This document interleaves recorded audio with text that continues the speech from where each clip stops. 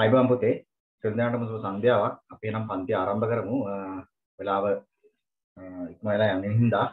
මම හිතන්නේ තව දින අයහපත් කාලගුණික තත්ත්වය නිසා ගොඩක් දරුවන් සම්බන්ධ වෙන්න නොහැකි තත්ත්වයක් තමයි මේ මැසේජ් කරලා තියෙන්නේ. මට WhatsApp මැසේජ් දාලා තියෙන්නේ. රයිට් අපි දැනට පන්ති කරගෙන යන් මේ පැත්තට නම් ප්‍රශ්නයක් නැහැ. තාම වැස්ස පටන් ගත්තා විතරයි. රයිට් එතකොට මම හිතනවා මගෙත් එක්ක සම්බන්ධ වෙලා හිටපු දරුවෝ තමයි මේ අද දින සම්බන්ධ වෙලා ඉන්නේ කියලා. එහෙම නොවිච්ච දරුවෝ ඉන්නවා නම් පොඩ්ඩක් කියන්න මම නිබන්ධනය කට්ටිය ළඟ තියෙනවද ප්‍රශ්න පත්‍රයේ? වයිඹ පළාත් 2020 පළවෙනි වාර පරීක්ෂණ ප්‍රශ්න පත්‍රයේ තියෙනවද ඔය කට්ටිය ළඟ? සම්බන්ධලා ඉන්න දරුවෝ ළඟ තියෙනවද මට මැසේජ් එකක් දාන්න.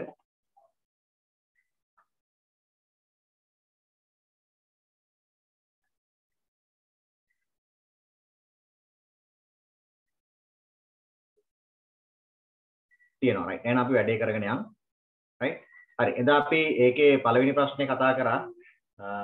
මොකද්ද? අනිවාර්ය ප්‍රශ්නේ ඊට පස්සේ අපිට ඒක දෙවෙනි ප්‍රශ්නේ සාකච්ඡා කරන්න තියෙන්නේ අද. මොකද්ද? ව්‍යාපාරික ප්‍රධාන අරමුණු ලියන්න. මොනවද දරුවෝ ව්‍යාපාරික ප්‍රධාන අරමුණු වෙන්නේ? හරි අපි ඊට කලින් අපි accounts පැත්තෙන් පටන් ගමු. රයිට් එතත් මම කෝ accounts පැත්තට මම පොඩි වැඩි බරක් දෙන්නම් කියලා. අපි accounts පැත්තෙන් පටන් ගමු. රයිට් පළවෙනි ප්‍රශ්නේ අතහැරලා අපි ටිකක් මැද ප්‍රශ්නයක් ගමු. වැරදි නෙවෙයි කිරීම රයිට්. බැංකු සැසඳුම තියෙනවා. ඔය බැංකු සැසඳුමේ ප්‍රශ්නයක් තියෙන එක ගමු. රයිට්. හත් වෙනි ප්‍රශ්නේ ගන්න. හත් වෙනි ප්‍රශ්නේ. හරිද? හත් වෙනි ප්‍රශ්නෙන් අපෙන් අහනවා චෙක්පතක් ණය හිමියෙකුට නිකුත් කිරීමේදී ඒ පිළිබඳව සනාථ කළ හැකි මූලාශ්‍ර ලේඛන නම් කරන්න. චෙක්පතක් ණය හිමියෙකුට නිකුත් කිරීමේදී ඒ බව තනාත කළ හැකි මූලාශ්‍ර ලේඛනයක් නම් කරන්න. මොකද්ද? නම් කරන්න පුළුවන් මූලාශ්‍ර ලේඛනය මොකද්ද? අපි චෙක් එකක් නිකුත් කරාට පස්සේ ඒ ඒ සම්බන්ධයෙන් පවතින මූලාශ්‍ර ලේඛනය මොකද්ද දරුවෝ? මට එවන්න බලන්න උත්තරයක්. අපි චෙක් එකක් නිකුත් කරද්දී චෙක් පොත ආශ්‍රයෙන් අපිට විශේෂිත මූලාශ්‍ර ලේඛනයක් නිර්මාණය වෙනවා. මොකක්ද ඒක? ID එකක් තියනවාද ඒකනේ? ඔවා තමයි අහන්නේ පුතේ විභාගෙදී. එහෙම නැත්නම් මේ සාම්ප්‍රදායික සුපුරුදු ප්‍රශ්න රටාව නම් අහන්නේ නැහැ. හරිද? ওই විදිහේ ප්‍රශ්න තමයි අහන්නේ. මොකක්ද මේ මූලාශ්‍ර ලේඛනය? ඔකට දන්නවා චෙක් පොත ලියනකොට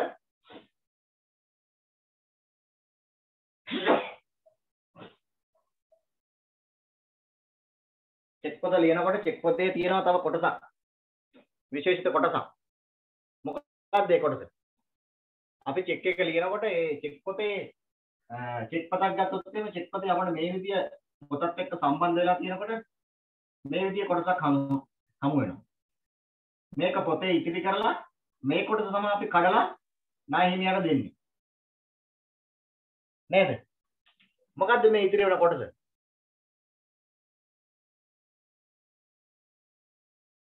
මොකක් කියලාද කියන්නේ අපි ඒකට? ඈදරුවෝ පිළිතුරක් දීලා තියෙනවා. පිළිපත. Right. Good. හරිද? හරි. එහෙනම් පිළිතුර අපිට බාර ගන්න පුළුවන් පිළිපත. මේකට තමයි අපි කියන්නේ පිළිපත කියලා. ඕකේ ලියනවානේ. චෙක් පද නිකුත් කිරීමට අදාළ විස්තරය මේකේ ලියනවා. හරි. එතකොට අපිට චෙක් පද නිකුත් කරේ කාටද? ඇයි නිකුත් කරේ? වටිනාකම කීයක්ද? කවද්ද නිකුත් කරේ? ඒ සියලු විස්තර ටික මේ පිළිපතේ සාරාංශගතව සඳහන් වෙලා තියෙනවා. හරිද දැන් ළමයි මූලාශ්‍ර ලේඛනකවම අපි අර මූලික පොත් එක්ක සම්බන්ධ මූලාශ්‍ර ලේඛන ටික කටපාඩම් කරගෙන ඉන්නේ. හැබැයි පරීක්ෂකයා ඊට වඩා සූක්ෂමයිනේ. කාටවත් කියන්න බෑ මේක මූලාශ්‍ර ලේඛනයක් නෙවෙයි කියන. මේක මූලාශ්‍ර ලේඛනයක්. අපි දන්නවා ඒක. නේ? එතකොට මේවා පිළිබඳ වැඩි ළමයිට අවධානය යොමු වෙන්නේ නෑ දරුවෝ. ඒකයි මේවා මේ පරීක්ෂකවරු ප්‍රශ්න කිරීම වලට ලක් කරන්නේ. රයිට් සිග්නල් වල පොඩි ප්‍රශ්නයක් තියෙනවා වගේ දැනෙනවා මොනවාරි තියෙනවා නම් මේ හිතන්නවා මොකද මේ කාලගුණ තත්ත්වයේ ඉඳ තමයි පොඩ්ඩක් වෙන්නේ. මේ දැන් මාර්ගස්ස පටන් ගන්න තියෙන්නේ. හරි. අපි පුළුවන් තරම් කරගෙන යම් මේ පන්තිය. ණයගැතියන්ගෙන් ලැබී බැංකුවේ තැන්පත් කළ චෙක්පත් අගරු වීම සටහන් කිරීමට අදාළ ජර්නල් සටහන ලියන්න. මොකක්ද මේ ජර්නල් සටහන? ණයගැතියෙක්ගෙන් ලැබී බැංකුවේ තැන්පත් කළ චෙක් පතක් අගරු වීමට අදාළ ජර්නල් සටහන ලියන්න. කියන්න බලන්න කවුරු හරි මට ඒ ජර්නල් සටහන.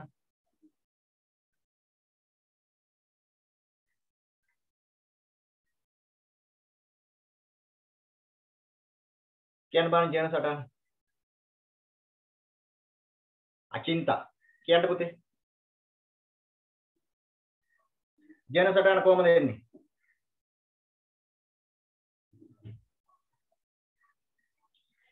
කොහොමද එන්නේ? අගර වුණු චෙක් පතක්. අපි චෙක් එකක් නිකුත් කරාම කොහොමද එන්නේ?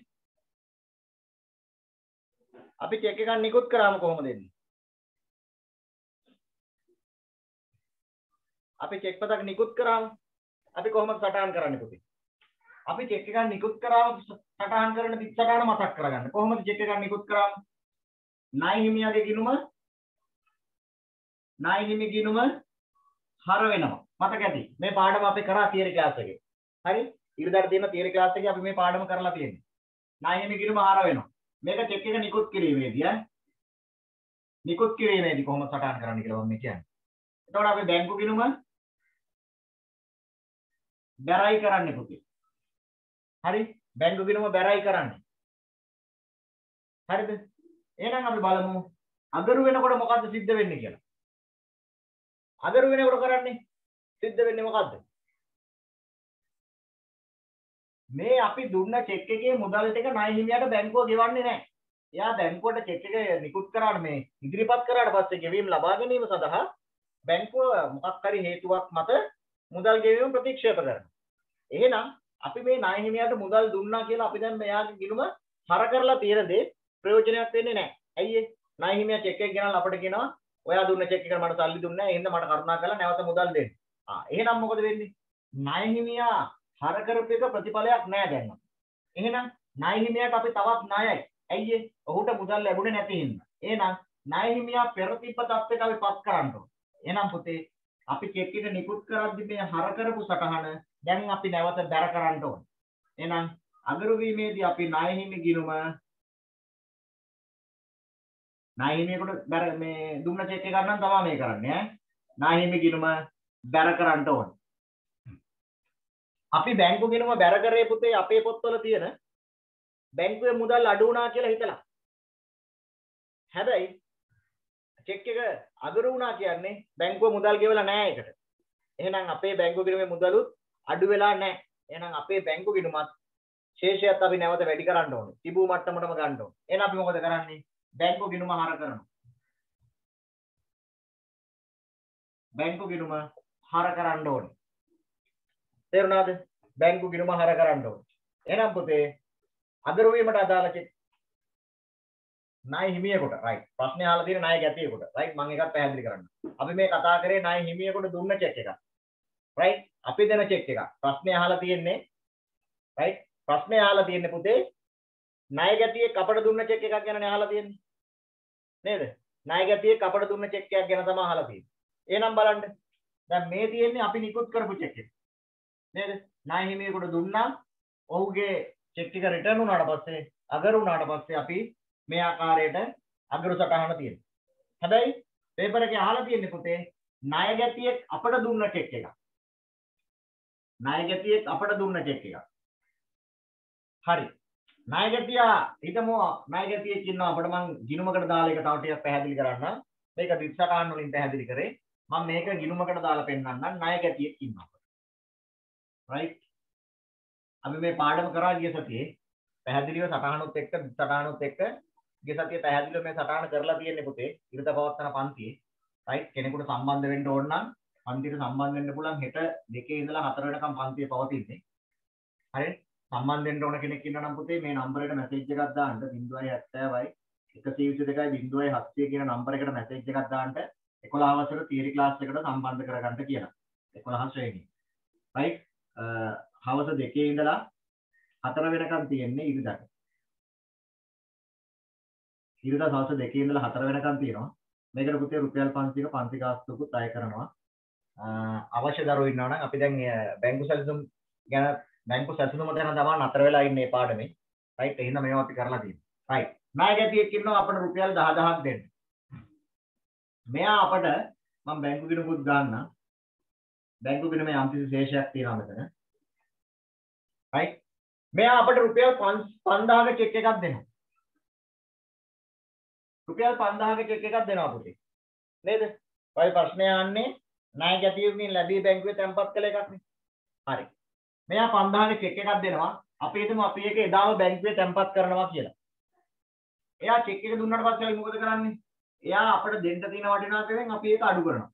ණය ගැති කිරීම බැර කරනවා බැංකු කියලා. අපි බැංකු කිරීම හර කරනවා ණය ගැතියෝ කියලා 5000. ඕකනේ කරන්නේ පුතේ. හරිද? හැබැයි දැන් වෙන්නේ මොකද්ද? මෙහෙම දුන්න 5000 චෙක් එකට අපිට මුදල් ලැබෙන්නේ නැහැ. අපි ලැබුණා කියලා අපේ පොත්වල අපි සටහන් කරගෙනත් තියෙනවා. නේද? චෙක් එක අපේ අපි ගිහලා තැන්පත් කරපින්න. හැබැයි අගර වුණාට පස්සේ මොකද කරන්නේ? බැංකුවේ බැංකුව මුදල් අපි වැඩි වුණා කියලා බැංකුවේ ශේෂය වැඩි වුණා කියලා සටහන් කරගෙන හිටපු දේ අපි අයින් කරන්න ඕනේ. එහෙනම් පුතේ බැංකු ගිණුම බැර කරනවා 5000. කවුරු කියලාද? ණය ගැති කියලා. හරිද?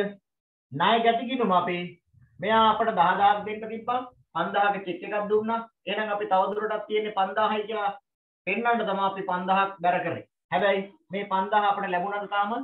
නෑ. බැංකුව මේ මුදල් අපිට ගෙවුවද? නෑ. එහෙනම් මේ ණය ගැතියා හිටපු තත්ත්වයට පත් කරන්න ඕනේ. ඒ කියන්නේ මේ අඩු කරපු 5000 අපි නැවත මෙයාට එකතු කරනවා. ඒක අපි බැංකුව කියලා සටහන් කරනවා. මෙන්න පුතේ සටහන් මොකද්ද? ණය ගැති ගිණුම හර බැංකු ගිණුම බැර. ණය ගැති ගිණුම හර බැංකු ගිණුම බැර. හරිද? ණය ගැති ගිණුම හර බැංකු ගිණුම බැර. තැන්පත් කළ චෙක් එකක් ණය ගැති ගිණුමෙන් ලැබී තැන්පත් කළ චෙක් එකක් අගරු වීමට අදාළ විස්තරණ තමයි පුතේ ණය ගැති ගිණුම හර බැංකු ගිණුම බැර. දැන් බලන්න ණය ගැතිව අපි තෝරණය කරොත් එහෙම ණය ගැතිව අපිට තාම 10000ක්ම පෙන්වනවා. මෙතන 15000යි. ඒ 15000 මේ පැත්තට ගෙනිච්චම ශේෂය එන්නේ අපට 10000යි. ඒ කියන්නේ ණය ගැතිව අපේ ළඟ තාම 10000ක්ම ඉන්නවා. ආරම්භයේ අවසාන. බැංකු ශේෂය ගත්තොත් මේ 5000 මේ 5000 යනවා. තිබ්බ ශේෂය තමයි තාමත් අපට පවතින්නේ. කියන්නේ යථා තත්ත්වයට පත් වුණා කියන එක තමයි අපිට එතනින් හඳුනගන්න වෙන්නේ. හරි? අපි මේවා චෙක්පත් අගරු වීම කොහොමද චෙක්පත් ලැබිලා මුන් බැංකුවේ තැන්පත් කරන්නේ? ඔය ඔක්කොම විස්තරාත්මකව බොහොම සරලව අපි කරලා තියෙනවා. කෙනෙකුට පුතේ අගෝස්තු මේ ඔක්තෝබර් මාසයේ පන්ති කාස්තු ගෙවුවොත් ඔක්තෝබර් පන්ති කාස්තු ගෙවුවොත් ඔක්තෝබර් මේ 500 ගෙවුවොත් පසුගිය දවස් 3ක වීඩියෝස් දෙනවා. දින 3ක වීඩියෝ ලැබෙනවා. 3 වෙනිදා 10 වෙනිදා 17 වෙනිදා කියන දවස් තුනේ වීඩියෝස් ටික බලන්නත් පුළුවන් ඉදිරි 24 31 කියන දවස්වලට පන්තියට සම්බන්ධ වෙන්නත් පුළුවන්. හරිද කෙනෙක් ඉන්නවනම් මේ මූලික පොත් ටික අපි ඔක්කොම සාකච්ඡා කරලා තියෙන දැන් බැංකු සැලසුමේ අන්තිම ටිකේ ඉන්නේ අපිට බැංකු සැලසුම ඊට පස්සේ ඉතුරු ලෙජර් ටික. මොනවාද? ණය ගැති කිනුම මේ ණය මේ ගැනුම් ජර්නලය, විකුණුම් ජර්නලය, පොදු ජර්නලය කියන දේවල් ටික තමයි කතා කරන්න තියෙන්නේ. ඊට පස්සේ අපි ශේෂ පිරික්සුම ගැන සාකච්ඡා කරමු. හරි? ඒ හින්දා තවදුරටත් සම්බන්ධ වෙන්න ඕන දරුවෙක් ඉන්නවනම් මේ පන්තියට සම්බන්ධ වෙන්න පුළුවන්. ඉදිරියේදී අපි එකේ වැරදි නිවැරදි කිරීම ඔය සියලු දේවල් සටහන් කරලා අපි ඔක්තෝබර් මාසයේ අන්තිමට මේ පන්තියේ 10 ශ්‍රේණිය කොටස ඉවර කරනවා. අපි ඒකල දෙසැම්බර් මාසය ඇතුළත 11 ශ්‍රේණිය සම්පූර්ණයෙන්ම සාකච්ඡා කරලා ඉවර කරනවා රිවිෂන් එකක් විදියට මේ පන්තිය. ඉරිදා පන්ති. හරිද? ඒකල අපි දෙසැම්බර් ජනවාරි දෙසැම්බර් ඉඳලා රයිට් oh, sorry නොවැම්බර් අන්තිම වෙනකොට 11 වසර සම්පූර්ණයෙන් ඉවර කරනවා. දෙසැම්බර් මුල ඉඳලා පුතේ අපි ඔය කට්ටියගේ පාස් පේපර්ස් පන්තිය පටන් ගන්නවා. හරිද? දෙසැම්බර් මුල ඉඳලා 11 වසර දරුවන්ගේ O level පාස් පේපර්ස් ටික සාකච්ඡා කරන පන්තිය අපි දෙසැම්බර් මුල ඉඳලා පටන් ගන්නවා. 11 නොවැම්බර් මාසයේ අන්තිම වෙනකොට ඔය කට්ටියට තියෙන සම්පූර්ණ විෂය නිර්දේශ අපි සාකච්ඡා කරලා ඉවර කරනවා. ඔක්තෝබර් මාසයේදී 10 වසර ඉවර කරනවා සම්පූර්ණයෙන්ම. 10 වසරට අපි ගත්ත මාස 3ක් විතර අපි අගෝස්තු මාසේ පටන් ගත්තේ පාඩම රයිට් පන්තිය. නොවැම්බර් මාසයේදී අපි 11 වසර සම්පූර්ණයෙන්ම සාකච්ඡා කරනවා. ගිණුම් කරණය සහ ව්‍යාපාර අධ්‍යයනය කියන කොටස් දෙක. රයිට් ව්‍යාපාර අධ්‍යයනය කොටස අපි විශේෂයෙන්ම ප්‍රශ්නෝත්තර විදිහට සාකච්ඡා කරන්නේ ඔකටගේ ව්‍යාපාර පසුබිමේ ඉඳලා සියලු ව්‍යාපාර අධ්‍යයනය කොටස් ටික ආවරණය වෙන විදිහට අපි 11 වෙනි මාසයේ ඒක සාකච්ඡා කරන්න පටන් ගන්නවා. ඒ වගේම accounting වලට ඉතුරු වෙලා තියෙනවා 11 වසරේ සාකච්ඡා කරන්න අපට ගැළපිලි සහිත අවසාන ගිණුම් පිළියෙල කිරීම අවසාන ගිණුම් පිළියෙල කිරීම ගැළපිලි සහිත අවසාන ගිණුම් පිළියෙල කිරීම ඊට පස්සේ නිෂ්පාදන ගිණුම පිළියෙල කිරීම නිෂ්පාදන පිරිවැය ගණනය කිරීම ඒ කියන පාඩම් ටිකත් අපි නොවැම්බර් මාසයේදී ආවරණය කරන්න බලාපොරොත්තු වෙනවා. ඉතින් අවශ්‍ය දරුවෝ ඉන්නවනම් මේ ඉරිදා දවසේ තියෙන පන්තියට සම්බන්ධ වෙන්න අපි ඒක අනිවාර්යයෙන් මේ පාඩම් ටික ආවරණය කරනවා. right? ඒතර මේ වෙනකොට පන්ති ගාස්තු ගෙවන්න පුළුවන් දරුවෙක් ඉන්නවා නම් ඔන්ලයින් ගෙවන්න පුළුවන් මට ගෙවුවොත් ඔයාට මේ දින තුනක වීඩියෝස්ලා බලන්න පුළුවන්. තුන් වෙනිදා හතර වෙනිදා 17 වෙනිදා. ඒ ටික තනිකරම මූලික පොත් ටික සියල්ලම අපි සාකච්ඡා කරලා තියෙනවා. හරිද? මූලික පොත් සියල්ලම සාකච්ඡා කරපු කොටස් ටික තමයි මේ දිනවල තියෙන්නේ. right? ඒතර වීඩියෝ මුදල් ගෙවුවොත් ඉදිරි සල්ලියකට සම්බන්ධ වෙන්නත් පුළුවන්. පහුගිය වීඩියෝ ටික බලන්නත් පුළුවන්.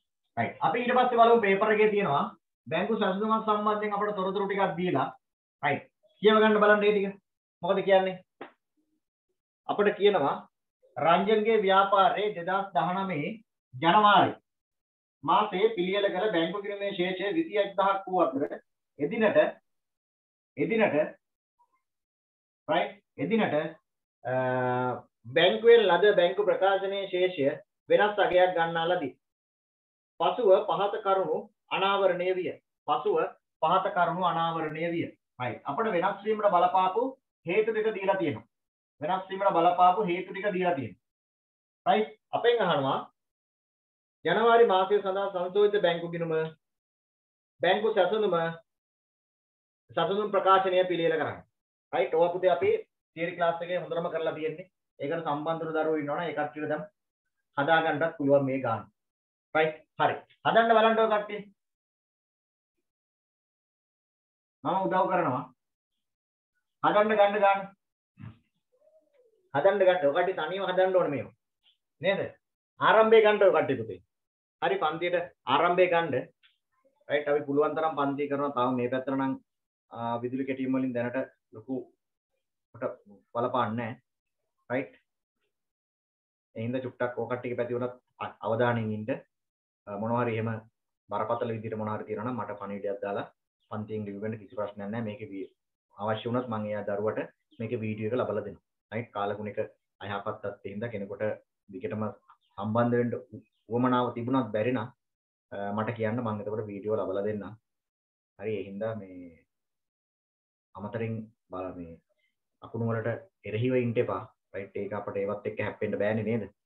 හැප්පෙන්න පුළුවන් දේවලුත් තියෙනවා බැරි දේවලුත් තියෙනවා රයිට්? සබාදාමත් එක්ක හැප්පෙන්න හරි අමාරුයි අපිට. තේරුණා එහෙනම් මොනවා හරි ගැටලුවක් තියෙනවා නම් මට මැසේජ් එකක් දාලා ලිව් වෙන්න ප්‍රශ්නයක් නැහැ. හරි. හැබැයි මේ ගාන හදන්න පටන් ගන්න දැන්. සංශෝධිත බැංකු ගිණුම රයිට් සංශෝධිත බැංකු ගිණුම වටිනාකම් තීරුත් එක්ක ගන්න රයිට් ඔය කට්ටියගේ මට්ටමේදී මම නම් නිර්දේශ කරන්නේ සම්පූර්ණ ආකෘතිය රූල් කරන්න කියලා හරිද මම O level pass papers කරද්දි පෙන්නන්නම් මාකට් ස්කීම් වල ගහලම තියෙනවා. හරිද? මාකට් ස්කීම් වල ගහලම තියෙනවා. නිවැරදි ආකෘතිය භාවිතා කරලා නැත්නම් ලකුණු භාගයක් අඩු කරන්න කියලා. හරිද? මම ඒවා පෙන්නනවා කටට O level paper class එකේදී ඒ හින්දා දැනට පුරුදු වෙන්න. සංශෝධිත බැංකු ගිණුමුණක් කමන්නේ සම්පූර්ණ ආකෘති ගන්න පුතේ. අතින් පයින් යන්නේ නැහැ නේ ඔය කට්ටිය. නේ? බොරුවට මෙහෙම ටී ගිණුමක් ගහලා ගාන හැදුවා කියලා ඔයාලට ලකුණු වැඩිපුර හම්බෙන්නේ නැහැ. තියෙන ලකුණක් අඩු වෙනවා ඇරෙන්න. හරිද පුතේ? ඒ හින්දා කාලය වේලාව හොඳටම ඇති. මගෙත් එක්ක වැඩ කරලා පුරුදු වුණොත් කාල වේලාව ඔයාලට ප්‍රශ්නයක් වෙන්නේ නැහැ. හරි ඒ හින්දා සම්පූර්ණ ගිණුම රූල් කරන්න ඕනේ. හරි? right. මම මේ පැත්තෙන් ගන්නම් මම මෙතනින්ම ගන්නම් බැංකු සසඳුමක්. right බැංකු සසඳුම. හරි. මට කියන්න කවුරු හරි දරුවෙක් ඔයාලට මයික් එකත් ඇක්සස් දීලා දෙනවා කරුණාකරලා පාවිච්චි කරන්න පුළුවන් ඔය කට්ටියට. ඒත් දැන් මගේ මම දරුවෝ හඳුනගෙන ඉන්නේ. මේ ඉන්න කරදර කරන දරුවෝ එන්නේ නැහැ දැන් මගේ පන්තියට. අයියේ ඒ ළමයිට මේ බයිලා ගහන්න තින්දු කියන්න මගේ පන්තියට නැහැ. හරි? මගේ පන්තියේ තියෙන්නේ වැඩ කරන දරුවන්ට. Right? එන්න පුතේ මයික් එක ඔන් කරගෙන මට කියන්න මොනවද සංශෝධිත බැංකු ගිණුමට එන්නේ? මොන වගේ කරුණද පුතේ මේ දීලා තියෙන කරුණ වලින් අපි මොනවද සැලකිල්ලට ගන්න ඕනේ? නේද? අපට ශේෂය දීලා තියෙනවා 21000යි කියලා. right? අපට ශේෂය ගැන විශේෂයෙන් හරද බැරද කියලා නැත්තම් පුතේ බැංකු ගිණුම අපි සාමාන්‍යයෙන් ශේෂය දාගන්නේ අර පැත්තේ. හරිද? විශේෂයෙන් අපිට කියලා තිබ්බොත් බැර කියලා අපි ඒක බැර ශේෂයක් විතර දාගන්න ඕනේ. හරිද? විශේෂයෙන් කියලා නැත්තම් දරුවෝ හර ශේෂයක් විතර ඒක පාවිච්චි කරන්න. හරිද? හරි. අපි සංශෝධිත බැංකු ගිණුමකට ගන්නෙ මොනවද පුතේ? හරි. මේ දීලා තියෙන කරුණු වලින් මොනවද ගන්න පුළුවන් කියලා මට කියන්න. කතා කරන්න කතා කරන්න දරුවෝ. මම හරි කැමතියි ඔය කට්ටිය කතා කරලා නේද? සුහද සීලිව අපෙත් එක්ක ණයගැති ප්‍රේෂණ බැංකු ගාස්තු ස්ථාවර නියෝග Ah, ආ රයිට් ඒ කියන්නේ පුතේ මේ වෙනකොට අපේ බැංකු ගිණුමේ සටහන් වෙලා නැති දේවල් ටික නේද? හරි. එහෙනම් ඒ ටික අපි සටහන් කරමු බැංකු ගිණුමේ. හොඳයි. ගන්න බලන්න. බැංකු අය කළ බැංකු ගාස්තු නේද? ගාස්තු නම් අපේ වියදමක් නේද? බැංකු ගාස්තු ගිණුම අපි හර කරනවා. බැංකු ගිණුම අපි බැර කරනවා කොච්චරද පුතේ? 2000 රයිට් හදාගෙන යන්න මගෙත් එක්කම. පුළුවන් කට්ටිය හදාගෙන යන්න. ඊට පස්සේ බැංකුවට ලැබුණු ණයගැති ප්‍රේෂණ. ආ ණයගැති ප්‍රේෂණ නම් අපි මොකද කරන්නේ? හර කරන්න ඕනේ. ණයගැතියෝ කියලා. ණයගැති ගිණුම බැර වෙනවා ඈ? හරිද? ණයගැති ගිණුම බැර වෙන්න ඕන ඔයත් එක්කම. හරිද පුතේ? ණයගැති ගිණුම බැර වෙන්න ඕන. ස්ථාවර නියෝග මත කියව රක්ෂණ ගාස්තු. එහෙනම් බැංකු ගිණුම බැර වෙනවා රක්ෂණය කියලා. බැංකු ගිණුම බැර 3000යි රක්ෂණ ගාස්තු ගිණුම හර වෙන්න ඕනේ පුතේ. ඒවා මතක තියාගන්න ඕනේ. මේවා මේ සමහර ළමයි හිතනවා අපි මෙහෙම හැදුවා කියලා මේවා තනි සටහන් කියලා නෑ. එහෙම එකක් නෑ. හරිද? එහෙම එකක් නෑ. තනි සටහන් නෙවෙයි ඒවා. හරිද? ඒවට මේ විත් සටහනක් යනවා. right? අපි දැන් බැංකු ගිණුම තුලනය කරමු. සංශෝධිත බැංකු ගිණුම. මේ පැත්තේ 25000යි හරි 25000න් 5000ක් ගියාම පුතේ ශේෂ එනවා අපට කොච්චරක්ද 20000යි. අපි ඒක ගන්නවා බැංකු සැසඳුමට මේවා පුතේ ලියන්න ඕනේ ව්‍යාපාරයේ නම දිනට බැංකු සැසඳුම. ඕකට ලකුණු හම්බ වෙනවා පුතේ. හරිද? මම ඒවා පෙන්නනවා O level mark scheme එක ඔකට පෙන්නනවා past papers කතා කරන්න ගියාම. හරිද පුතේ? ඇයි මම එහෙම කරන්නේ? පුතේ ළමයි දැනුම තියෙනවා. හැබැයි ළමයි දන්නේ නැහැ පුතේ පේපර් එකට ලකුණු දෙන්නේ කොහොමද කියලා. හරිද? ලකුණු දෙන විදිය දන්නේ නැතුව ඔයාට හිතේ විදියට උත්තර ලිව්වා කියලා ලකුණු ලැබෙන්නේ නැහැ. නේ? අපිට ලකුණු 100 දීලා තියෙන්නේ පේපර් එකත් එක්ක. අපි තමයි ලකුණු 100 රැක ගන්න ඕනේ. රයිට්? ඒකට අවශ්‍ය මඟ පෙන්වීම මම දෙසැම්බර් මාසයේ O level pass papers පන්තියේදී කරන්න පටන් ගන්නවා. රයිට්? වාක්‍යස් කීම ඔකට පෙන්නනවා. කොහොමද ලකුණු දීලා තියෙන්නේ කියලා පෙන්නනවා. හරිද?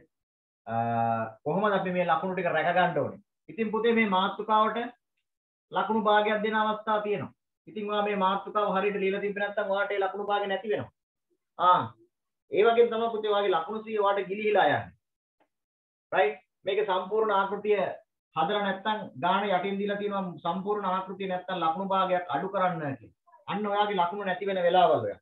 ඔයා කොච්චර මහන්සිලා මේ ගාන තුලින් ලකුණු උපයනවා. ඔයාගේ නොදැනුවත්කම නිසා ඔයාට ලකුණු ගිලිහිලා යනවා. හරිද පුතේ? එහෙනම් අපි ඒවා අදාළ තැන්වලදී පේපර් සාකච්ඡා කරන වෙලාවදී කියලා දෙනවා. හරිද පුතේ? එහෙනම් මෙතන ලියන්නේ කොහොමද බැංකු ප්‍රකාශනයේ බැංකු සතුටුමේ ලියනවා සංශෝධිත බැංකු ගිණුම අනුව ශේෂය කීයද පුතේ 20000යි. අපිට හොයන්න තියෙන්නේ පුතේ එහෙනම් මොකද්ද? බැංකු ප්‍රකාශනය අනුව බැංකු ප්‍රකාශනය අනුව බැංකු ශේෂය හොයන්න තියෙනවා. අපිට කොටසක් එකතු කරන්න වෙයි පුතේ තව කොටසක් අඩු කරන්න වෙයි. හරි? මගේ ගිය සතියේ ඉරිදා පන්තියේ 17 වෙනිදා තිබ්බ ඉරිදා පන්තියේ මම මේකට පුතේ හොඳ ක්‍රමවේදයක් කියලා දුන්නා ඒ දරුවන්ට. මේකට හොඳ ක්‍රමවේදයක් කියලා දුන්නා. කොහොමද අපි දෙයක් අඩු කරනවද දෙයක් බැංකු සැසඳීමේදී එකතු කරනවද කියන කාරණේ හඳුනාගන්නේ කොහොමද කියන එක මම කියලා දුන්නා. right. මට කියන්න මේ ගානේ හැටියට අපි මොනවද එකතු කරන්න ඕනේ මොනවද අඩු කරන්න ඕනේ මොනවද එකතු කරන්න ඕනේ? මොනවද අඩු කරන්න ඕනේ? කොහොමද අපි ඒක තීරණය කරන්නේ? ඔයා තීරණය කරන්නේ කොහොමද? ඒක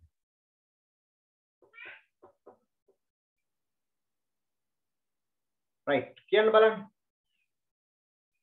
ඉස්සර උත්තර දුන්නා වගේ ධර්මයක උත්තරයක් දෙන්න. මට හේතුව නැතත් ඔයා කොහොමද ඒක මොනවද එකතු කරන්නේ මොනවද අඩු කරන්නේ කියන කාරණේ? නේද? මෙතෙන්දි පුතේ කොහොමද කරන්නේ? දැන් අපේ ළඟ බැංකු ගිණුම ශේෂය තියෙනවා. බැංකු සතුටුමේ ශේෂය වහන්න තියෙනවා. බැංකු ප්‍රකාශනයේ ශේෂය වහන්න. රයිට් අපට අර දුන්න කරුණු වලින් කරුණු දෙකක් ඉතිරි වෙලා තියෙනවානේ කරුණු තුනක් අපි සංශෝධන බැංකු ගිණුමට ගත්තා. එහෙනම් ඉතුරු වෙලා තියෙන කරුණු දෙක තමයි මේක අපි අඩු කරනවාද එකතු කරනවාද කියලා හොයා ගන්න ඕනේ. හරි. මොනවද ඉතුරු වෙලා තියෙන්නේ? ණය හිමියෙකුට නිකුත් කළ චෙක් පතක් වටිනාකම රුපියල් 45000ක් වූ අතර ඉන් බැංකුවට ඉදිරිපත් වී ඇත්තේ රුපියල් 38000ක් පමණි. හා. අපේ චෙක්පත් 45000ක් නිකුත් කරලා තියෙනවා පුතේ. චෙක්පත් 45000ක් නිකුත් කරලා තියෙනවා. ඒකෙන් බැංකුවට ගිහින් තියෙන කීයද දරුවෝ? 38000ක්. එහෙනම් තව ඉදිරිපත් නොවු චෙක්පත් කොච්චරක් තියෙනවද වටිනාකම? කීයක් තියෙනවද පුතේ? 7000ක් තියෙනවනේ. 7000ක් තියෙනවා. right 7000ක් තියෙනවා. ඒ වගේම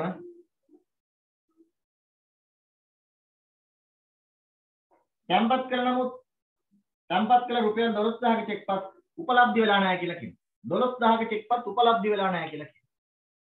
12000ක චෙක්පත් උපලබ්ධ වෙලා නැහැ. ඒ කියන්නේ පුතේ අපි තැන්පත් කරලා අපි තැන්පත් කරද්දි මොකද කරන්නේ? අපේ බැංකුව ගිණුමේ අපි හරට දා ගන්නවා. ඒ කියන්නේ ඔය 12000 පුතේ මේ 20000 තියෙනවා. නේද?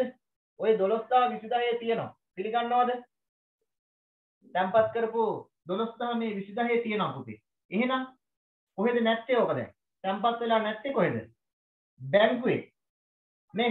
ඒ බැංකුවේ ශේෂය තමයි අපි හොයන්නේ. එහෙනම් තියෙන එකේ නැති දෙයට එනකොට මොකද කරන්න ඕනේ? ඒක අඩු කරන්න ඕනේ. නේද? තියෙනවා මෙතන. හැබැයි නැති තරක් අකට අපි යනකොට නැති දේ මෙතනින් අඩු කරොත් තමයි අපිට ඒ උත්තරේ එන්නේ. එහෙනම් අපි අඩු කරනවා මොකද්ද? උපලබ්ධි නොවු චෙක්පත්. කොච්චරද? 12000යි. ඒ වගේම පුතේ අපි නිකුත් කරනවා. අපි නිකුත් කරද්දි මොකද කරන්නේ? අපේ බැංකු ගිණුම අපි බැර කරනවා. නේද? අපේ බැංකු ගිණුම බැර කරනවා. ඒ කියන්නේ මේ 7000ක් මේ වෙනකොට අපේ බැංකු ගිණුම බැර වෙලා තියෙන්නේ. ඒ කියන්නේ මේකේ නෑ දැන්. හැබැයි ඒව බැංකුවෙන් අඩු වෙලාද තියෙන්නේ? නෑ. ඒ කියන්නේ බැංකුවේ තියෙනවා. නේද? බැංකුවේ තියෙනවා. මේකේ නෑ. එහෙනම් අපි මොකද කරන්න ඕනේ? බැංකුවේ ශේෂ හොයන්න නම් අපේ ළඟ තියෙන්නේ නැති ශේෂය. ඒකට අපි ඒක එකතු කරනවා මොනවද? ඉදිරිපත් නොවු චෙක්පත්. 7000යි. ආ.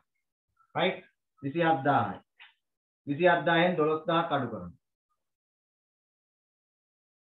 කීයද පුතේ? 15000යි. හරිද? 15000යි. ආවද මේ උත්තරේ? ඔකට ආවද මේ උත්තරේ? Right මේවා මේ අඩු වැඩි කරන දේවල් මම බොහොම තාර්කිකව සටහනුත් එක්ක අපේ තියරි ක්ලාස් එකේ උගන්වලා තියෙනවා. හරිද? මෙතනත් මම ඔය කට්ටියට පැහැදිලි කිරීම කරා. නමුත් සටහන් දෙන්න විදියක් නැහැ. මොකද කාල වේලාව අපට සීමිත හින්දා. හරි? right එතකොට ඒක කොහොමද අපි පැහැදිලි කරලා තියෙනවා සටහනේ මේක කොහොමද සෙවීමට ශේෂය කියලා අපි මේ ශේෂය හඳුනනවා මේක හඳුනනවා. ඇයි පුතේ මං කියන්නේ මේවා කටපාඩම් කරන්න එපා කියලා. මේවා කටපාඩම් කරන්න එපා කියන්නේ ඇයි? ඒවා පුතේ වෙනස් වෙනවා මේ මෙතන පවතින ශේෂයත් එක්ක. හරිද? මෙතන ශේෂයත් එක්ක ඒවා වෙනස් වෙනවා. මෙතෙන්ද ගන්න ශේෂයත් එක්ක ඒවා වෙනස් වෙනවා. අපි මෙතන එකතු කරපු දේවල් ඔයාලට සමහරට විභාගෙදී හම් වෙන ගානේදී අඩු කරන්න වෙයි. මම එහෙම ගානක් තියරි ක්ලාස් එකේදී කරලා පෙන්නනවා. ළමයිට උදාහරණ මේ පැත්ත එක ගානක් හදලා අනිත් පැත්තේ අනිත් ගාන හදලා පෙන්නනවා මේ පුතේ. මේ පැත්තේදී අපි එකතු කරපු අනිත් ගාන හදලා සමහරලාට අපිට අඩු කරන්න වෙනවා. ඒවා අපි අවස්ථානුකූලව තාර්කිකව තීරණය කරන්න. ඒ අරෙන්ට මේවා ඉදිරිපත් නොවු චෙක්පත් මොනවා කොහොම තිබ්බත් අපි එකතු කරනවා. උපලබ්ධ නොවු චෙක්පත් මොනවා කොහොම තිබ්බත් අපි අඩු කරනවා කියලා ඔයා කටපාඩම් කරන් ගියොත් එහෙම ඔයාට සාර්ථක වෙන්න බෑ. හරිද? ඒවට අවශ්‍ය න්‍යායාත්මක කරුණු මම ඉරිදා පන්තියේදී කියලා දීලා තියෙනවා. මම හිතන්නේ ඒක 17 වෙනිදා ක්ලාස් එකේ තමයි කරේ. 10 වෙනිදාත් කොටසක් කරා 17 වෙනිදාත් කොටසක් කරලා තියෙනවා. right? එතකොට මං කියන්නේ ඉන්න කියලා ඔක්කොටම දැනුම නැති ළමයි Tamanට ඒ දැනුම වර්ධනය කරගන්න ඕනේ කියලා හිතන ළමයි පන්තියට සම්බන්ධ වෙන්න පුළුවන්. හරි?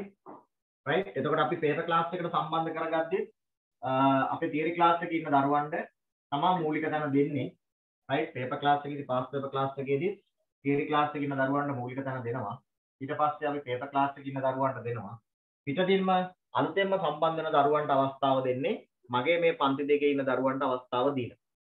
right? ඉස්සරවම තියරි ක්ලාස් එකේ ඉන්න දරුවන්ට අපි සීට් ටික වෙන් කරනවා. ඊට පස්සේ අපි පේපර් ක්ලාස් එකේ ඉන්න දරුවන්ට සීට් ටික වෙන් කරනවා. ඊට පස්සේ තමයි මේ දෙකටම බාහිරව ඉන්න දරුවෝ අපේ පන්තියට සම්බන්ධ කරගන්න. හරිද පුතේ? ඉන්න ඔය කට්ටිය මගේ group එකේ ඉන්න WhatsApp group එකේ කියන්නේ free class එකට මම group එකක් හදලා දීලා තියෙනවානේ. ඒ group එක තුල රැඳිලා ඉන්න ඕන. හරිද? එතකොට තමයි ඔය කට්ටියට මේ පණිවිඩ ලැබෙන්නේ කොහොමද paper class එක පටන් ගන්නෙ කොහොමද කවදද තියෙන්නේ. right ඒක මේ වගේ නෙවෙයි. පන්තිය පටන් ගත්තට පස්සේ සාමාන්‍යයෙන් එක දිගට පැය 4ක විතර පන්තියක් මම කරන්නේ. right? පැය 4ක විතර පන්තියක් කරන්න බලාපොරොත්තු වෙනවා. හරිද? නැතුව අපිට පාස් පේපර්ස් ටික සාකච්ඡා කරන්න බෑ. මේ වගේ පැයක පන්තියක්වත් පැය දෙකක පන්තියක්වත් නෙවෙයි කරන්නේ. දෙකේ පන්ති එකේ පන්ති නෙවෙයි සාමාන්‍යයෙන් පැය හතරක් හෝ ඊට වැඩි පන්තියක් තමයි අපි කරන්න බලාපොරොත්තු මොකද එහෙම නැත්නම් ළමයෙකුට පේපර් එකක් අපිට එක දිගට සාකච්ඡා කරලා ළමයාගේ වේගය හදලා දෙන්න බෑ අපිට. Right? අපි මේ O level pass papers පන්තියේදී ළමයාගේ වේගය හදන්න. කියන්නේ ඇත්තටම විභාගයට ඔයා ගියා නම් මේ පේපර් එකේ ඔයා කොහොමද මේකට වේගයෙන් පිළිතුරු ලියන්න ඒ කරුණු ටික අපි පේපර් ක්ලාස් එකේදී කියලා දෙන හින්දා අඩුම ගානේ අපිට පැය හතරක පන්තියක්වත් ඕන වෙනවා. right? ඒ හින්දා ඒ විදිහට තමයි අපි දැනට සැලසුම් කරලා තියෙන්නේ. ඉදිරියේදී නොවැම්බර් මාසය වෙනකොට අපි ඒකේ දින කාලසටහන ඔකටට ලබලා දෙනවා. එතකොට ඔකටට තියෙන වැඩ ටික සැලසුම් කරගන්න පුළුවන්. right? ඔකටට දැනට පෙබරවාරි විභාගය තියෙනවා කියලා කියන්නේ. එහෙනම් අපි දෙසැම්බර් ජනවාරි වෙනකොට ඒ මාස දෙකේ ප්‍රශ්න පත්‍ර 10ක්. ප්‍රශ්න පත්‍ර 11ක්. 2020 ඉඳලා අපි සාකච්ඡා කරන්න බලාපොරොත්තු වෙනවා. 2006 ඉඳලා 2019 වෙනකම්. right? ප්‍රශ්න පත්‍ර එතකොට 10කට වැඩි. right? ওই ටික අපි ඔක්කොම සාකච්ඡා කරන්න සැලසුම් කරලා තියෙනවා. අපි මේ දවස්වල ටයිම් ටේබල් එක හදාගෙන යනවා. ඒ ටයිම් ටේබල් එකේ අපිට දින වෙන් කරගන්න පුළුවන් මට්ටම අනුව 2019 ඉඳලා උඩරිම පිටිපැත්තට පුළුවන් තරම් අපි යනවා. හරිද? මම කියලා තියෙන්නේ 2020 වෙනකම් මට අවස්ථාව දෙන්න කියලා. බලමු අපිට කොහොමද වෙන්නේ කියලා 2019 ඉඳලා sorry 2020 ඉඳලා 2020ක් තිබ්බනේ. 2020 ඉඳලා මේ පැත්තට පුළුවන් තරම් අවුරුදු අඩුම පහක් නැත්තම් 10ක්. ඔය ටාගට් එකට තමයි යන්නේ. right? අවුරුදු 5ක් 10ක් අතර ප්‍රශ්න කතා කරනවා. අපි දෙසැම්බර් මාසයේ අවුරුදු 5ක් කතා කරොත් ජනවාරි මාසයේ ඉතුරු අවුරුදු 5 කතා කරනවා. හරිද? ඒ විදිහට සැලසුම් කරලා තියෙන්නේ දින හරියටම ෆික්ස් කරලා ඔය කට්ටියට නෝටිස් එකක් අපි එවනවා. නොවැම්බර් මාසය තුලදී දෙසැම්බර් පන්තියට සූදානම් වෙන්න කියලා. හරිද? ඒවත් එක්කින්ද අපි එතකොට ඔය කට්ටියට හොඳ ඔය කට්ටියගේ රිසල්ට් ෂීට් එකේ BS සබ්ජෙක්ට් එකට. එහෙම නැත්නම් business and accounting කියන සබ්ජෙක්ට් එකට ඒකක් ලබා දෙන ගමන තමයි අපි මේ යන්නේ. Right ඕනම මට්ටමක හිටපු දරුවෙක්ට අපෙත් එක්ක සම්බන්ධ වුණොත් මම ඒකක් අරන් හැබැයි මම කියන විදිහට වැඩ ටික කරන්න. හරිද? මම කියන විදිහට වැඩ ටික කරන්න ඕනේ ඕනම මට්ටමක හිටපු දරුවෙක්ට මම business and accounting වලට ඒකක් අරන් දෙන්න. හැබැයි මම කියන විදිහට වැඩ ටික කරගෙන යන්න ඕනේ. හරිද පුතේ? හරි. අපි ඊළඟට යමු.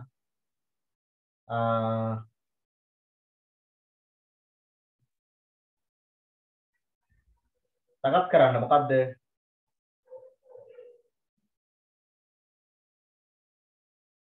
කොමස් පැත්ත ගානකට යන්න. right කොමස් පැත්ත එක්කට යන්න. එකත් අපි මැදකින් වගේ පටන් ගමු. මුල් පාඩම් කොහොමද සාකච්ඡා කරන්න තියෙන්නේ. හරි. හතරවෙනි ප්‍රශ්නෙට යන්කෝ අපි. හතරවෙනි ප්‍රශ්නේ. රක්ෂණය. රක්ෂණය සඳහන් අවදානම් ඒකරාශී කිරීම යනුවෙන් අදහස් කරන්නේ කුමක්ද?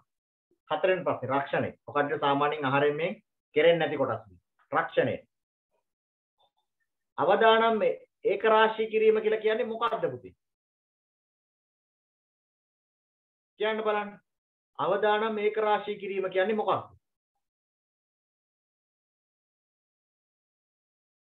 රක්ෂණේ පාඩම කෙරලා තියෙනව කඩේට පුතේ? රක්ෂණේ කෙරලා තියෙන්නේ right මම ඒවා තියරි කොටස් වල කරනවා තියරි පන්ති වල right ඒවට ප්‍රසන්ටේෂන් හදලා තියෙන්නේ right ඒ ටික දාලා අපිට පැයෙන් පැය දෙකක් ඇතුළත පාඩම්. දෙකක් විතර ආවරණය කරන්න පුළුවන් ප්‍රසන්ටේෂන් විදිහට හදලා තියෙන්නේ ඒ හින්දා. අපිට ගැටලුවක් වෙන්නේ නැහැ පන්තියට බෝරින් නැතුව ඒවා. මම කට්ටියට ප්‍රායෝගික කරුණුත් එක්ක රක්ෂණය පොතේ පොතේ නෙවෙයි උගන්වන්නේ ප්‍රායෝගික භාවිතය. හරිද ප්‍රායෝගික භාවිතයෙන් උගන්වන්නේ. right. අවදානම් ඒක රාශී කිරීම කියලා කියන්නේ මොකක්ද ඔයාගෙන් අහනවා මේ ප්‍රශ්නේම පුතේ එනවා විභාගෙට. හිතන්නකෝ. කොහොමද ඔයා පිළිතුරක් මේකට ගොනු කරන්නේ? නේද? ගණන් හදන්න විතරක් අපි පුරුදුලා හරියන්නේ නැහැනේ. අවදානම් කළමනාකරණය කියලා කියන්නේ මොකද්ද පුතේ?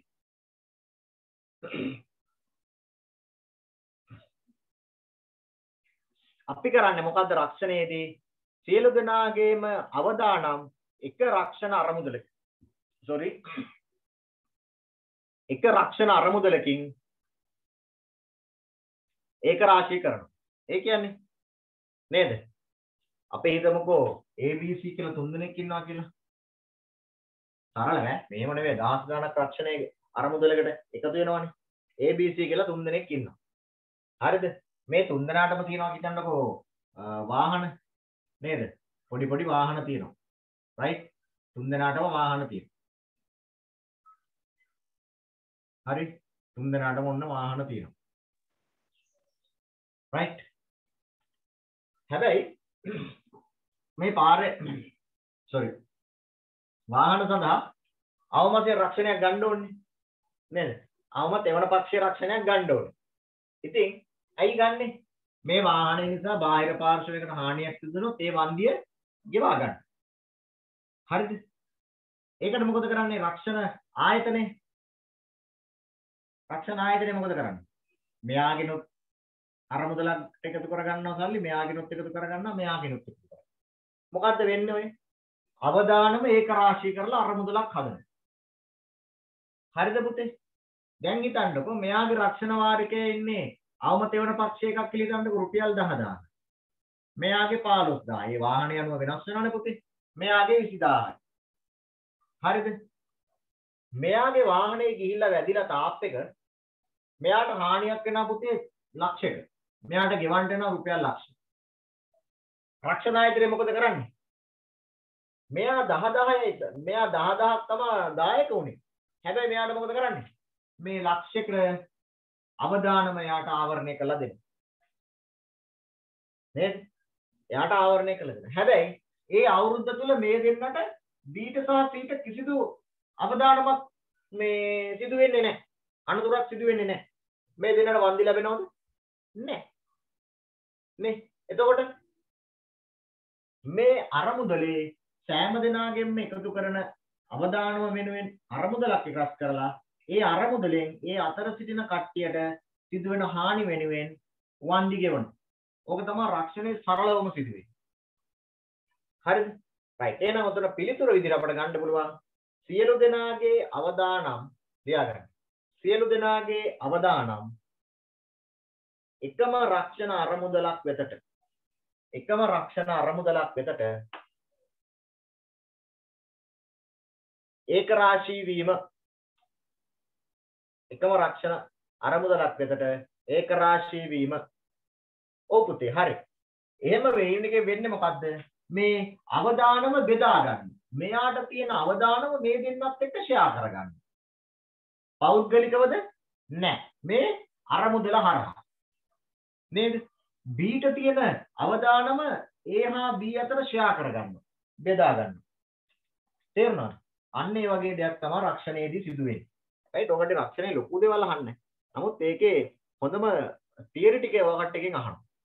මේ ටේ ටික අපි හරියටම දෙනවා ඔකට. හරිද? ඒ වෙනුවෙන් අපි නොවැම්බර් මාසයේදී විශේෂ ව්‍යාපාර අධ්‍යයනයේ සියලු පාඩම් ටික ආවරණය වෙන විදිහට පුතේ අපි හදලා තියෙන්නේ පන්ති මාලාව. right? මේ විදිහටම ඉරිද දවසේ අපි නොවැම්බර් මාසයේදී ඒ ටික ආවරණය කරනවා. 10 වසරේ ඉඳලා 11 වසර වෙනකම් සියලු පාඩම් ටික සාරාංශගත කරනවා. හරි රිවිෂන් එකක් විදිහට ඔය කට්ටියට අපි මතක් කරලා දෙනවා. right එතකොට ඔය කට්ටියට පාඩම් සම්බන්ධයෙන් තියෙන මොනවා හරි ගැටලුවක් තියෙනවා ඔය කට්ටිය ඒ ටික ලකුණු කරගෙන ඉඳලා අපේ පාඩම සාකච්ඡා කරන දවසට අපිට ඒකට ඉදිරිපත් කරන්න පුළුවන්. ඒතර අපි ඒ ගැටලු निराකරණය කරලා දෙනවා. හරිද? ව්‍යාපාර සංවිධාන ඊට පස්සේ රක්ෂණය, කළමනාකරණය, අලෙවිකරණය නේද? ආයෝජනය වගේ පාඩම් ගොඩක් තියෙනවා. ඒවට අපි අවශ්‍ය තොරතුරු ටික ඔය කට්ටියට ඉදිරිපත් කරනවා. right? ව්‍යාපාර පරිසරය ඒකෙන් ෂෝට් ඇනලයිස් එක. right? ඔය විදිහ ගොඩක් තියෙනවා කට්ටියට ව්‍යාපාර අධ්‍යයනය. හරිද ඒ හින්දා ව්‍යාපාර අධ්‍යයනය අපිට නොසලකා ඉන්න බෑ. මොකද පේපර් එකෙන් ඔයා accounting ටික ඔක්කොම කරත් පුතේ ලකුණු භාගයයි හම්බෙන්නේ කියන්නේ මුළු පේපර් එකෙන් 150 නෝඩ ගන්න වෙන්නේ. නේ? ඉතුරු 150 තියෙන කාර්ය ළඟද ව්‍යාපාර අධ්‍යයනය. ඒ හින්දා අපිට ව්‍යාපාර අධ්‍යයනය නොසලකා හරින්න බෑ. right? ව්‍යාපාර අධ්‍යයනය ළමයිට පේපර් වලට උත්තර බලද්දී අපිට තේරෙන දෙයක් තමයි ළමයි ලියන්නේ මොනවද යන්නේ කොහෙද මල්ලේ පොල්ල උත්තර ලියලා තියෙන්නේ හරිද ඇයි ළමයිට ලියන්න දන්න දේ වුණත් ලියා ගන්න හැකියාවක් නැහැ. හේතුව මොකද්ද? ප්‍රශ්න පත්‍ර වලට උත්තර ලියන්නේ නැති එක පුතේ. හරිද? එහෙනම් මේ අපි දෙන ප්‍රශ්න පත්‍ර වලට ඔය කට්ටිය උත්තර ලියන්න ඕන. රයිට් එදා මට එක දරුවෙක් මැසේජ් එකක් දාලා තිබ්බස සර් දෙන හැම පේපර් එකකට මම කලින් උත්තර ටික ලියලා තියෙනවා. සර්ගේ ක්ලාස් එකේදී පැයේ ක්ලාස් එකේදී මම ඒකේ හරි වැරදි ටික තමයි බලන්නේ. අන්න බලන්න. එහෙම තමයි ළමයි ඉන්න ඕන. නේද? උත්තර ටික ඔයා දන්න විදිහට ලියාගෙන එනවා. right? අපි මෙතන සාකච්ඡා කරනවානේ. මදි පාඩු ටික හදා ගන්නවා ටක් ගන්න. නේ? ආ එහෙම තමයි පුතේ. වැඩක් කරන උනන්දුවක් තියෙන දරුවෝ එහෙමයි. ඒ දරුවා මගෙත් එක දිගටම රැඳිලා හිටපු දරුවෙක් මේ කොරෝනා කාලේ මේ දරුවා බොහොම දුර්වල මට්ටමේ හිටියා. දැන් මට ෂුවර් ඒකක් ගන්නවා ඒ දරුවා. ඇයි මම මේ දාන පේපර් වලට ඔක්කොම මෙයා උත්තර ලියනවා. ලියලා තමයි මේ මගේ ක්ලාස් එකට සම්බන්ධ වෙන්නේ. හරි අද ඒ දරුවා නැහැ. මම ඒකයි මම වෙඩේ නැත්නම් ඒ දරුවා ඉන්නවට කිව්වොත් එහෙම දරුවා මොකද වෙන්නේ? උඩ යනවා. එතකොට බෑ කරගන්න. අද නෑ මට මෙසේජ් එකක් දාලා තිබුණා වැස්ස ගොරවනවා හින්දා සම්බන්ධ වෙන්න විදිහක් නෑ කියලා. මම ඒකයි මේක කිව්වේ. රයිට් ඒ දරුවා ඉන්න වෙලාවට එහෙම කිව්වොත් එහෙම මොකද වෙන්නේ? එයා අධිමානයක් ඇති කරගන්නවා. නේ? එතකොට අමාරුයි. හරි. රක්ෂණ ඉතුරු ප්‍රශ්නෙට විදේශ වෙළඳාමේදී සහාය දක්වන සහාය වන රක්ෂණ වර්ග දෙකක් ලියන්න. ආ විදේශ වෙළඳාමේදී ඔයාලට මොනවද සහාය වන රක්ෂණ වර්ග? කියන්න බලන්න.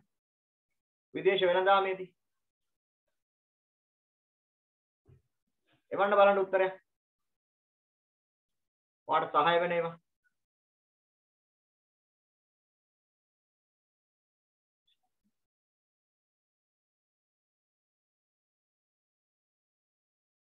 කියන්න බලන්න මොනවද?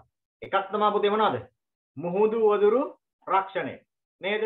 මුහුදු වදුරු රක්ෂණය. තව මොනවද? අපේ නැවට පටවලා තියෙන බඩු තොගය අපට රක්ෂණය කරන්න පුළුවන්.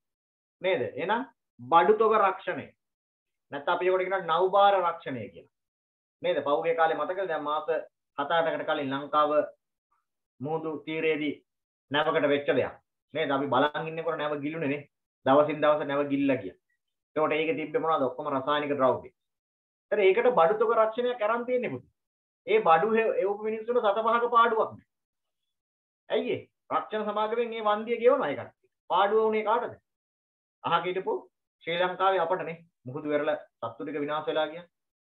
නේ ඕක ඇතුලේ කොච්චර රසායනික විපර්යාසයක් වෙලා තියෙනවද කියලා තාම ගණනය කරලා නැහැ.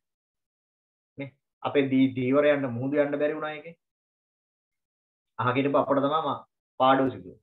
නේ රක්ෂණ වන්දි ලැබුණා කියලා කියනවා ඉතින් ලංකාවට. නේද? ඒක ලැබෙන්නේ රජයටනේ. අපට නෙවෙයිනේ. නේද? ඒ හින්දා බලන්න ඉතින් මේ ඒ වගේ තව මොනවද? අපනායන ණය රක්ෂණය. තව එකක් තමයි අපනායන ණය රක්ෂණය.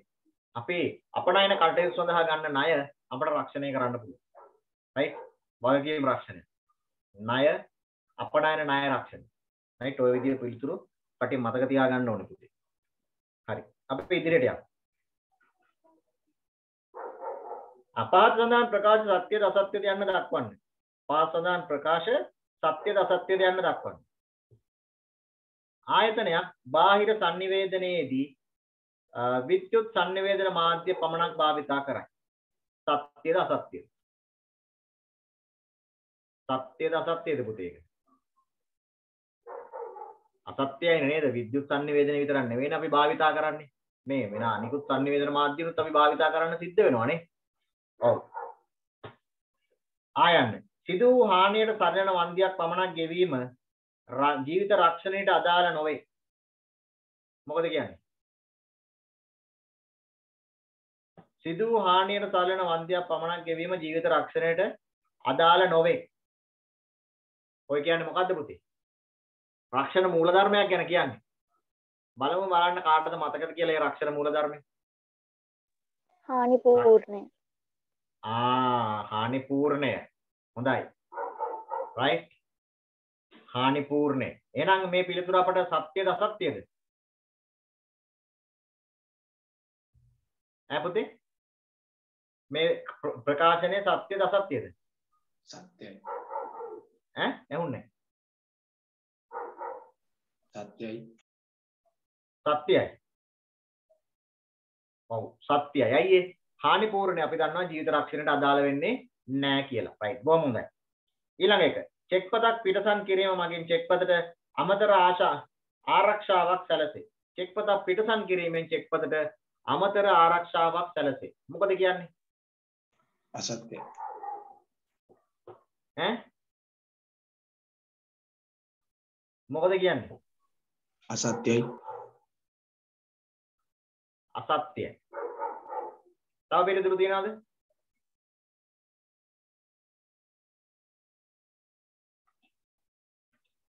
තව පිළිතුරු තියනවද ඒකට? ඔව් අපිට චෙක් පතට අමතර ආරක්ෂාවක් ලැබෙන්නේ මොනවා කරාමද සාමාන්‍යයෙන්? රේකණය කරාම ආරේඛනය කරාම නේද පුතේ? පිටසන් කිරීමෙන් මොකද්ද සිදු වෙන්නේ? චෙක් පත වෙන කෙනෙකුට පවරණ කොට හරි මුදල් ගන්නකොට හරි ඔව් ඒක ඒ චෙක්පත දරන්නා ඒ චෙක්පත බාර දුන් බවට නැත්නම් වෙන කෙනෙකුට පැවරූ බවට සටහනක් තමයි පිටසන් කිරීමෙන් බලාපොරොත්තු වෙන්නේ. නේද? ඔයා බැංකුවේ කවුන්ටරයට චෙක් එක දුන්නත් ඔයා පිටසන් කරලා තමයි චෙක් එක දෙන්නේ. රයිට්? ඔයා වෙන කෙනෙකුට චෙක් එක පවරවුවත් ඔයා පිටසන් කරලා තමයි යාට චෙක් එක දෙන්න.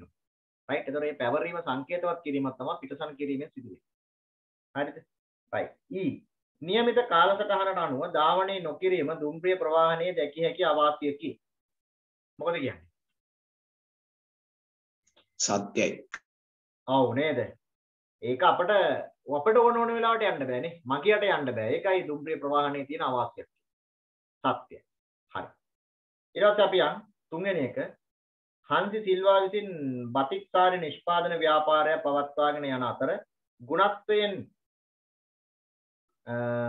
උසස් අනර්ග අනර්ග නිමාවෙන් යුතු සාරි වර්ග නගරයේ වෙළඳ සැල් සඳහා බෙදා හරි පතික්සාරි නිෂ්පාදන ව්‍යාපාරයේ අයත් වන වෙළඳ ප්‍රභේදය නම් කරන්න. නිෂ්පාදන ව්‍යාපාරයේ අයත් වන වෙළඳ ප්‍රභේදය. කියන්නේ මේ ව්‍යාපාරය ගැන අහන්නේ. මෙයා මොකද කරන්නේ? මොන වෙළඳ ප්‍රභේදයකටද අයත් වෙන්නේ? මොනවද දරුවෝ වෙළඳ ප්‍රභේද කියන්නේ? වෙළඳ ප්‍රභේද කියන්නේ මොනවද? පුතේ?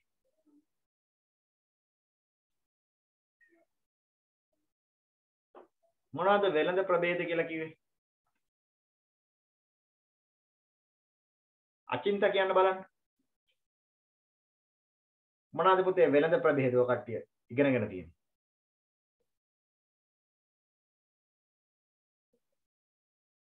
කවුරුද දරුවෙක් කියන්නේ?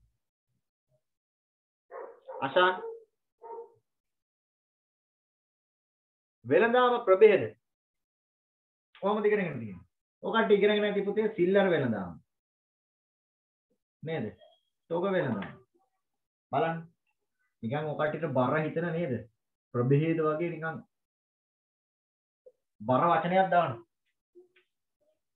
එහෙනම් ඔය කියන බතික් ව්‍යාපාරේ මේ දෙකෙන් මොකද මොන ප්‍රභේදයකද අයත් වෙන්නේ? මේ ප්‍රභේද දෙකෙන් මොන ප්‍රභේදයකද අයත් වෙන්නේ? ඔබ නේද පුතේ අයියේ? ඔව් එයා නිෂ්පාදනය කරලා වෙළඳ සැල වලට තමයි දාන්නේ. වෙළඳ සැලෙන් තමයි පාරිභෝගිකයට විකුණන්නේ. කියන්නේ නැවත විකිණීමට තමයි එයා විකුණන්නේ. ඒකට තමයි අපි හඳුනගන්නේ මොනවද කියලාද පුතේ? තොග වෙළඳාම කියලා නේ. රයිට් බලන්න ඒක අපිට කෙලින්ම අහන්නේ නැහැ තොග වෙළඳාම දන්නවද කියලා වගේ නේද? වක්‍රාකාරයෙන් තමයි දැනුම පරීක්ෂා කරන්නේ. හරිද? වර්තමානයේ පේපර් මේක පොතේ 2020 පේපර් එක. හරිද? ඔකට්ටිය විභාග ලියන්නේ 2021. හරිද? 2021 වෙනුවෙන් තමයි ඔයා 22 ලියන්නේ. කොරෝනා ප්‍රශ්නයක් ඉන්නනේ.